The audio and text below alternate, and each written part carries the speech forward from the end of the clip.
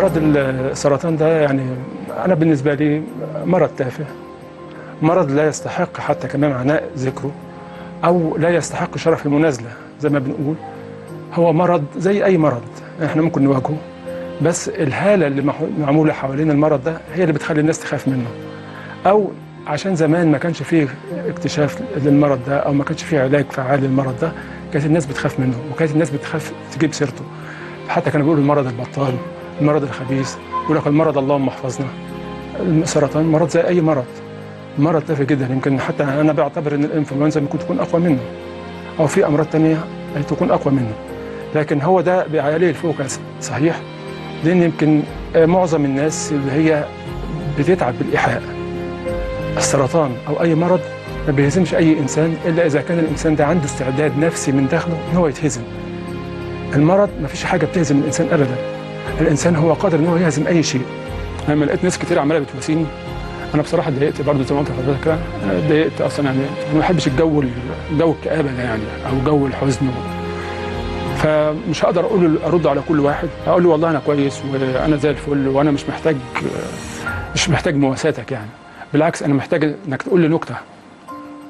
فبدات من هنا بدأت إن أنا أفكر في فكرة إن أنا أستغل الصفحة بتاعتي واعمل أكتب إيه اللي أنا بحس بيه.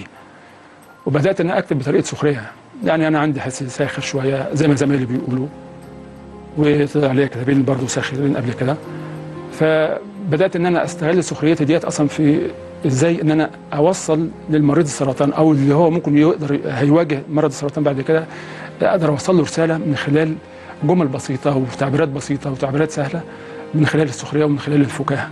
بدات إزاي بقى إزاي تقدر تواجه المرض بالابتسام إزاي تحارب السرطان بالابتسام إزاي تقدر على المرض المرض البطال. بصراحة فوجئت أصلا يعني بكم رهيب من التفاعلات أصلا يعني على الصفحة. أنا ما كنتش أتوقعه خالص يعني وده ما كانش الهدف منه يعني. أنا قلت مثلا إيه عشان زمايلي. بقى يتعاملوا معايا كان أنا طبيب يعني حتى كمان طبيب نفسي أقرب من يكون طبيب آه، جراح. لو أنت استسلمت لأي حاجة الفشل ممكن أنت عمرك ما هتفشل لكن لو استسلمت للفشل هتفشل. ال- اليأس. لو استسلمت لليأس هتيأس. لو استسلمت لحاجات كتير الحاجات السلبية كلها أنت كده بتقضي على نفسك. هو أنا بالنسبة لي السرطان هو عامل بالظبط زي ضيف غلس. هو خلاص دق بابك ودخل. يا تتعامل معاه بحكمة وحنكة يا إما هيحصل مشاكل بينكم وبين بعض. وفي الآخر لو ما تعاملش بحكمة هو هينتصر عليك. ما تخليش حاجة تهزمك ما تخليش حاجة تهزمك أي حاجة في الدنيا أصلا ما تقدرش تهزمها